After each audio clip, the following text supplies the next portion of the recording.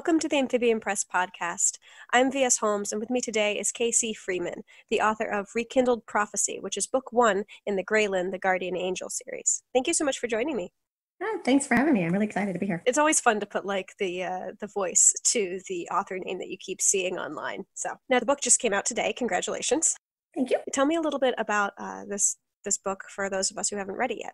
Rekindled Prophecy is actually uh, the first in a series that's was originally going to be three books, and then it was going to be four, and then it was back to three, and now I think I'm going to five. So uh, authors were a fickle bunch. We'll like change our mind in a second. that, that's how all my series begin too. Is like, oh, here's here's this one-off story, and then like six books later. Yeah, it just kind of keeps going. Um, but it's about a guardian angel. Uh, her name is Graylin. Um, I've really had the story in my head since like I was a teenager, but then you go to college, life gets in the way, creativity gets smushed mm-hmm. down, mm-hmm. and uh, like a few decades later, right. um, the story like popped back up in my head, and I was like, well, why don't I just write it? Um, but Graylin is a guardian angel. She's 450 years old, oh, but she she looks fantastic.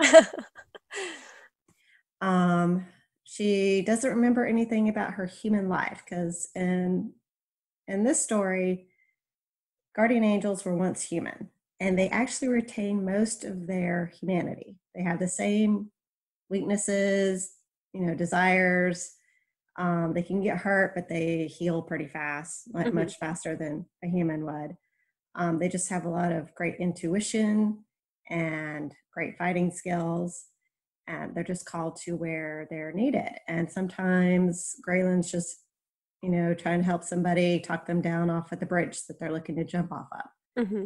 Or she's um, also actually fights, you know, the real demons that are out there. You know, uh, the book starts out actually where she's uh, trying to save this guy from a soul stealing demon who was acting as a card shark. Mm, nice. uh, so she she does both, and she sort of travels, rambles around, uh, it's called Where She Needs to Go.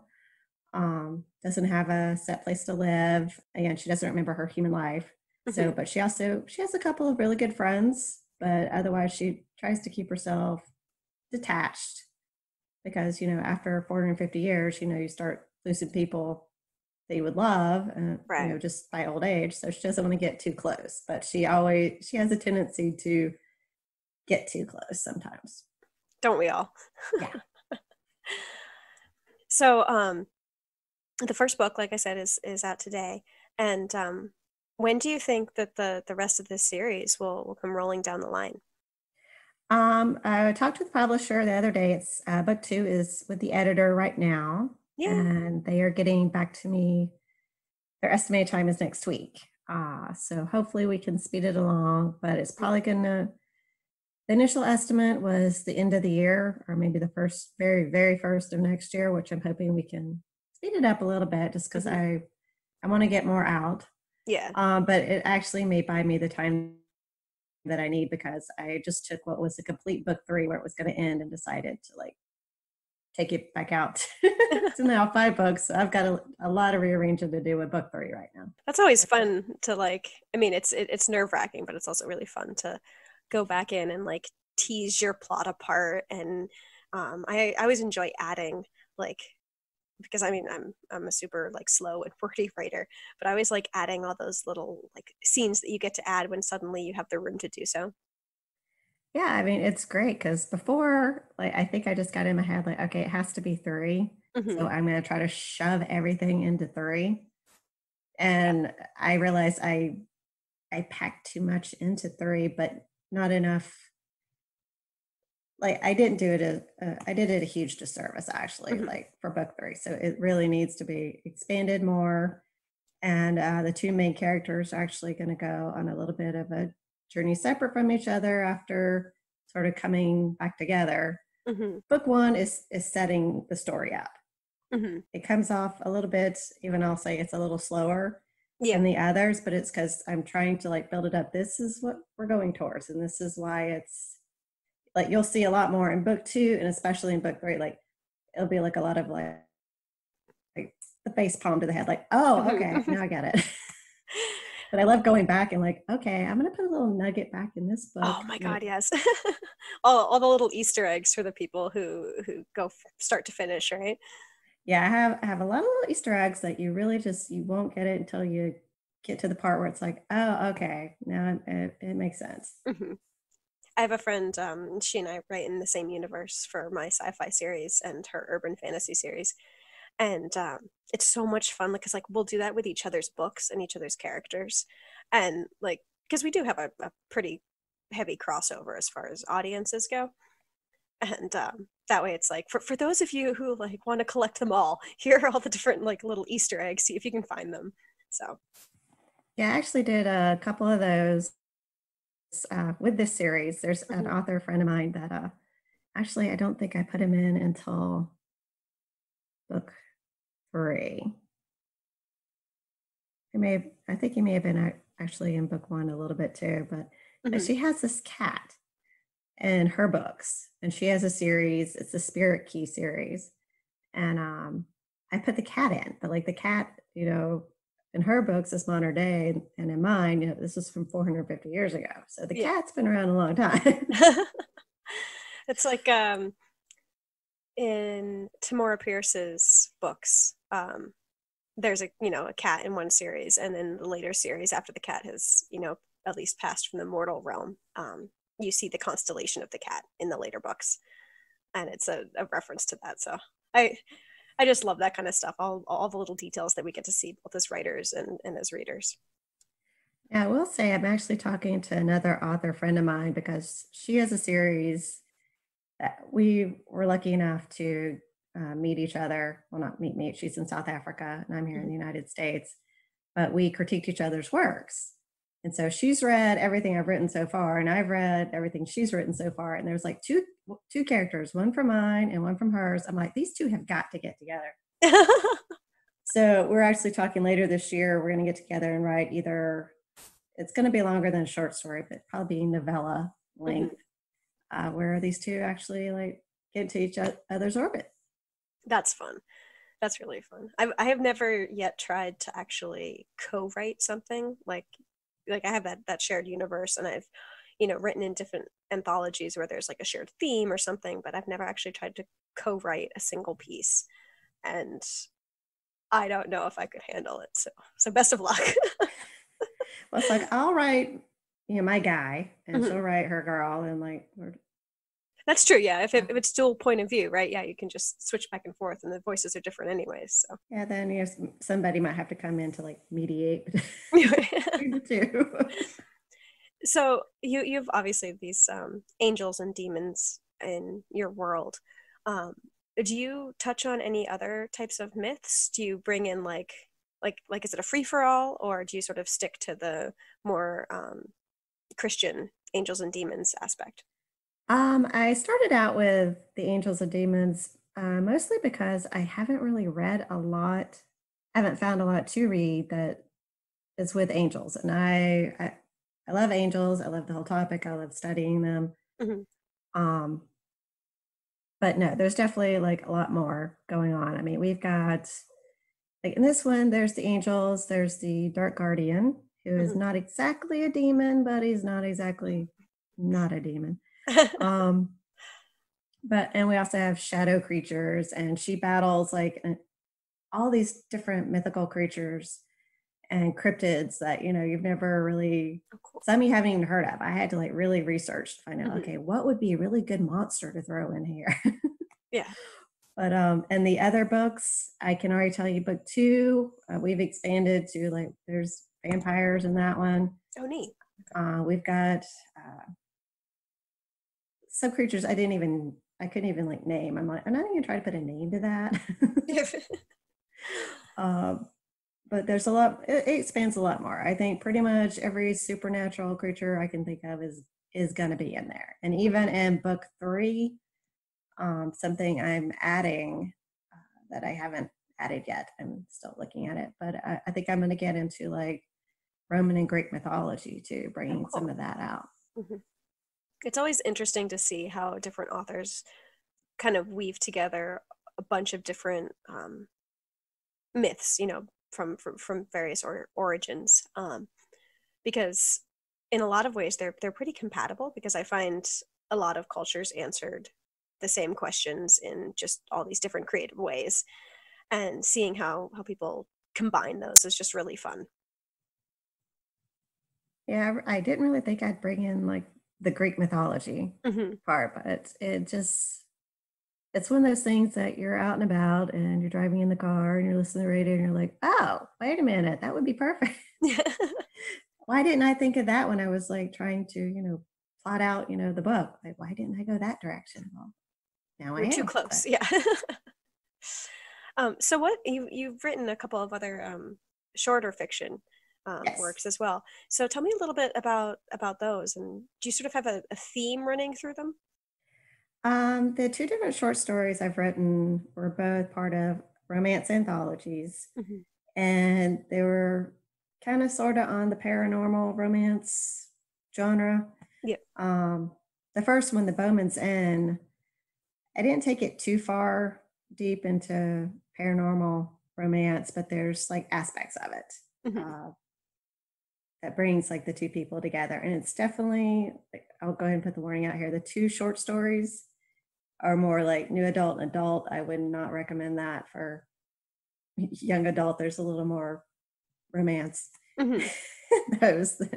Whereas right now, like Graylin and her story, it- it's kind of it's ta- it starts out tame, and it's definitely not going to go to that extreme that the short stories did. But Mhm.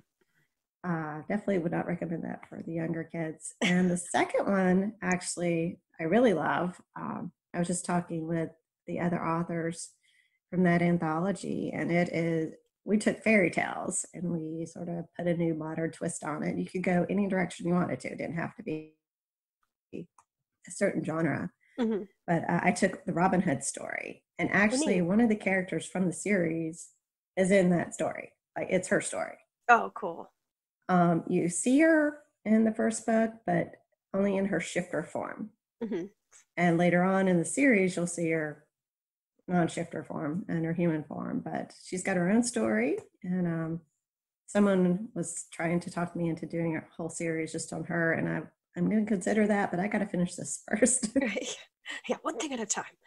I've I've been trying to do the the two series at a time thing, and like it's nice when they're different flavors, you know, to to jump between if if you hit a block. But at the same time, it's like now I have two different audiences who are expecting you know books coming out at a certain pace and and i've just doubled my workload what have i done so, um I, I remember seeing i think it was on twitter um an author talking about how when they're reading and they can tell like certain characters like like your shifter character um you know if, if they get more than like a one line description it's like oh oh there's a spin-off novel. Oh there's you know there there's a spin-off series and just um how how fun it is to like like kind of decide which uh which characters get those as as an author.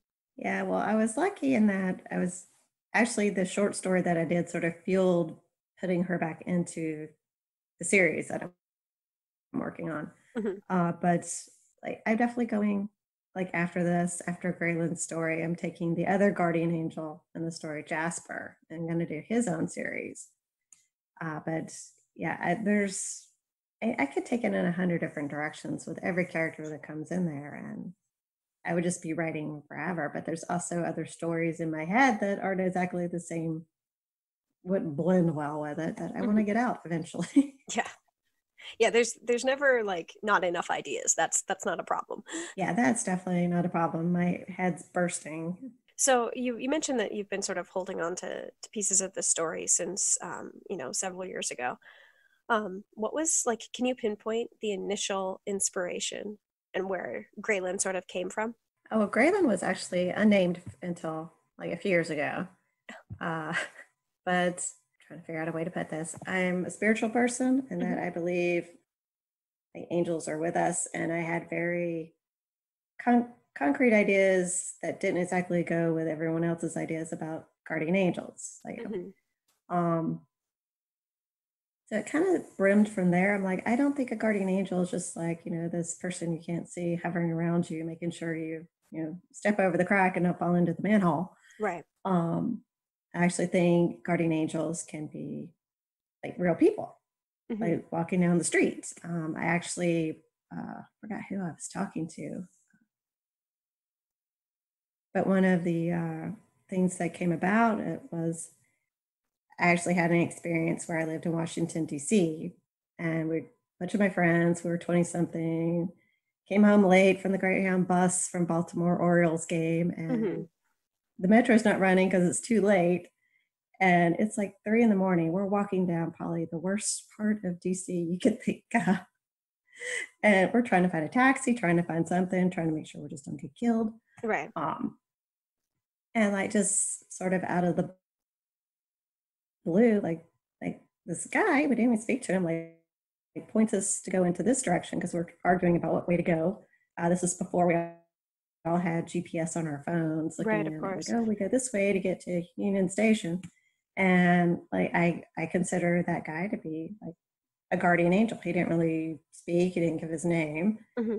uh, but it saved us from going you know down the wrong path right um, whereas i mean i also think you know there's another story of someone actually i felt really awful about but uh, this person was very depressed and lived out in san francisco and they were going to decided they were going to do it they were going to jump off the Golden Gate Bridge. Mm-hmm. And so they're walking, they're like, okay, if one person says hello, one person smiles at me on the way, I won't do this. Right. And it just so happened one person did, and, and this person like turns around and doesn't take their own life. Mm-hmm. So I consider that like a guardian angel. Yeah. So I, I, they fascinate me, and so I wanted to do the story for forever. Um, but honestly, it was probably about 10, 12 years ago, I was reading a book, um, Angelology. Okay. And I forgot who it was by Danielle Trussano. I think I totally butchered her name, but mm-hmm. and it just it brought it all back up. And I was like, oh, wait a minute, I have this story in my own head because uh, it was about angels and not really guardian angels, which is what I wanted to do, but mm-hmm. it sort of it revitalized the idea in my head. I was like, okay, I'm I'm going to write this now. Mm-hmm. Well, especially with the the popularity of like the the Good Omens TV series, and um, you know, just a lot of. Um, I, I think we've stepped away a little bit from the more like gruesome um what's, what's the word uh, like purgatory um analogy uh, you know that that a lot of books maybe like 10 20 years ago that were more angels and demons on earth you know i think we sort of stepped away from that into this more um, creative and um, a little bit less gritty maybe uh, angels and demons version um, that, that, that i just really enjoy because i feel like it's a little bit more playful it's a little bit more um, fantastical in a lot of ways it doesn't have to be all you know fire and brimstone, really. Right, right, exactly. Like I've read some that really kind of glorified, put a romantic spin on like on demons, and I was like, oh, wait a minute, I don't know if I can get into that. but in essence, you know, one of my guys in my story is um, sort of maybe not actually demon, but you know, there's so there's that. There's the allure. Mm-hmm. And it doesn't, it can be more fun. Like there's a lot of bantering. I mean, there's some fighting, in the book, but you know, we're not going down into the depths of hell. This isn't the apocalypse. Mm-hmm. It's it's none of that. Um, a little more lighthearted, but in going forward, it's going to be a little more like, oh, wait a minute, this could have rippling effects, mm-hmm. not just here, but you know, heaven and hell. But yeah, I didn't want it to be gruesome. I didn't want it to be I, love Stephen King and Anne Rice, but I didn't want it to be anything like that. Right. Yeah. yeah. That's that's sort of on on the other end. Yeah, fun to read, but yeah, not not necessarily for for everyone. That's for sure. But I also wanted it to be relatable. I didn't want the characters to be somebody you couldn't imagine like meeting. Right. The main characters are like, okay, that person doesn't could never actually exist because you know no one could be that perfect and wonderful and everything's done right and it, it's I wanted them to be relatable and more human. Mm-hmm. Mm-hmm. Yeah, that makes sense. This is like one of my new favorite questions for people. Um, what was the most difficult part of the story? Not not necessarily like the the writing process, but the actual story itself for you to to tackle. Book one has a lot of real things, real places mm-hmm. in it for me, and so I was. It was actually really hard writing those things because some of it brought up a lot for me. Mm-hmm. Um, but I wanted to give it justice to like what I saw what through my own eyes. Well, I like to take people that I know or meet, you know, just very briefly, and I can sort of exaggerate or add in little things to make them an actual character in the book. But I wanted to make them authentic, and so mm-hmm. I was actually really, really hard on myself. That's probably why I had a gazillion freaking drafts of the first book, because I was just, I if I did, I would read it again after, you know, like a month or whatever. I'd be like, no, that's, that's not right. That's not how she talked, or that's not, you know, how the scene was, you know, when you're coming into the, up to the end and you see this great, beautiful, majestic manor house. And mm-hmm. like, I was, I'm my own worst enemy when it comes to stuff like that. So when do we get more into like book two and three, where we're getting away from things that I'm actually familiar with and trying to add in my own experiences into it so it seems more real like it's actually easier to write right yeah yeah the, the research is sort of on on a different level at that point i did just um let's see in book three she actually goes back to ireland and i had changed it recently uh, the first part of the book to be a different place. Mm-hmm. but the way i had written it because you know it's fiction. I'm like okay there's a pier she it's at the beach. I was like sort of describing it more like a coney island type of thing. Right. And then i saw a picture of the place. I'm like that is nothing. Like, I want to describe so i actually found somebody from that area that lived there for like 20 years mm-hmm. and i just had an interview with her like two weeks ago so I could change that scene because I'm like, oh no, I've got to make it more like that. Because if someone from that area reads this, they're going to be like, that's nothing like it. But you know, it's still fiction. I could have left it in there, but I wanted yeah. it to be real. I wanted people to be able to like walk out there, go, oh yeah, and this is where Graylin had the fight with that guy, and you know. Well, plus, I mean, you know, as uh, as you're working on stuff, if it's um, on a smaller scale, you could always just uh, write off traveling there for you know as as research on, on well on i'm i'm working on that one so yeah. I, i've been working on my husband for a few years now like i really need to go to ireland to research this you know? Yeah that's that, that's the nice part about about the writing process is being like well you know i could i could just go uh, one day i actually just got my uh, renewed passport in the mail last week so i'm one step closer to doing that part awesome. what other projects do you have coming up? I mean, obviously you're you're working on the the next book and and the third book as well. Um, but do you have any other anthologies coming up or um, or events? Um, I have a couple events that I'm going to. Uh, February 29th, I'll be at Penned Charleston. Oh, cool. Uh, for a book signing. Mm-hmm. It's my first one. I'm really excited. Oh, yeah. Uh, yeah, it's, that's so nerve wracking. Yeah, I just got confirmation that I was going to be there. I'm like, I'm not prepared. I don't have this. This. so I'm a little freaking out about it. Uh, then I'm also going to be at the Queen City Book Fair, which is uh, Charlotte, North Carolina, okay. on May 23rd. Oh, nice.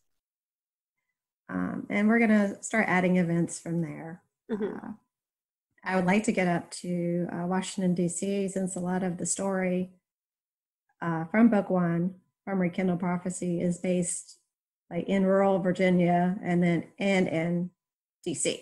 Mm-hmm. Um, so I think it'd be fun to do that. Uh, but otherwise, uh, I actually just got a message yesterday asking if I wanted to be in this anthology, a Halloween based anthology.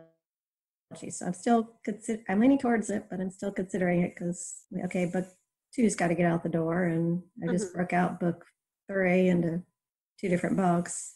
But I also have like Jasper is in the book. I'm going to co author a story with him and a character from my author friend from South Africa's book. Do, do you know when that's coming out? I don't know when it's coming out. We're just, we're to start planning like late summer. Mm-hmm. And uh, it, it, probably won't take, I don't think it'll take too long. Hopefully we could get it out about the same time. Yeah. two comes out. That'd be fun. Have like a little double feature, right? yeah, I kind of like doing that. Awesome. But I also have ideas outside of like paranormal and fantasy romance. Uh, there's a military. I don't even know what to call. I don't know what genre to put it in. It's like a military thriller, sort of romance type of thing. Maybe like romantic suspense kind of thing. Yeah, I I just I don't know what genre to put it in. It's mm-hmm. it could go through so many. Um, but that's been like banging in my head for probably two years. So I need to get that one out. So that'll probably be my next. Once I get out of this whole book, the Graylin and the Guardian Angels, and get that all out of my system, that'll probably be my first big project. Awesome. So why don't you uh, tell our listeners where they can find you and find your work um, now that they're like dying to read it? well, I'm pretty much everywhere online. Mm-hmm. Uh, I'm on Amazon, Barnes and Noble, uh, Walmart, like online, online ordering online. You can get me pretty much anywhere. Um, I'm not actually in many bookstores right now. I'm actually talking with three different bookstores, including Barnes and Noble, to get the actual physical book on the shelves. Mm-hmm. Um, so that's not done yet, but it's available for anybody to purchase online. Um, if they want to find me, I am on Facebook at K.C. Freeman Author. I'm on Twitter, Pinterest, Instagram. I have a website. I've got a newsletter. I mean, the whole the whole shebang. The whole shebang, which is was a good reason for getting the publisher because basically beforehand I was just on Facebook. I didn't know what I was doing at all, and I'm still mm-hmm. not really sure I know what I'm doing. But they were able to lay it out like, oh, you need to go get a Pinterest account and you need to do YouTube videos. I'm like, YouTube videos? Who wants to watch me on YouTube?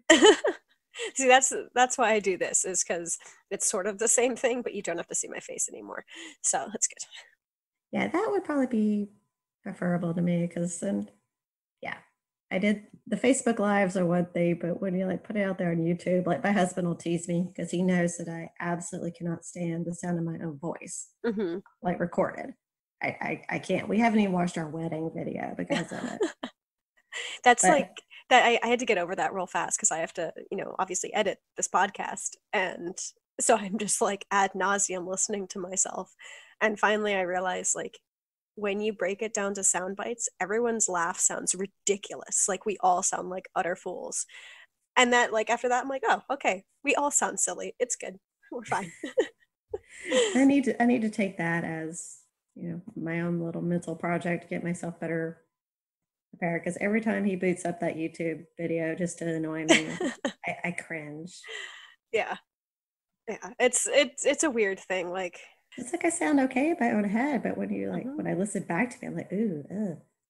Yeah, yeah. W- without the the resonance of your own skull around the sound, it's like it doesn't it doesn't sound like you anymore. It's not you.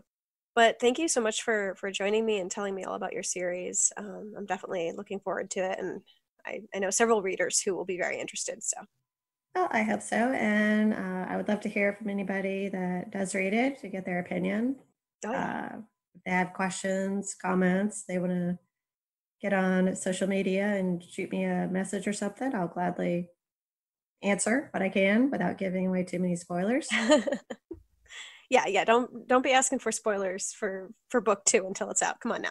yeah, no spoilers. I mean, uh, the only spoiler I'll give you is that the shifter in book one has her own story over here for a short story. So, yeah. well, that's awesome um, but yeah, thanks thanks again for for joining me. Well, thanks for having me. I really appreciate it. This has been the Amphibian Press podcast. With me today was K.C. Freeman. I'm VS Holmes. Thank you so much for listening.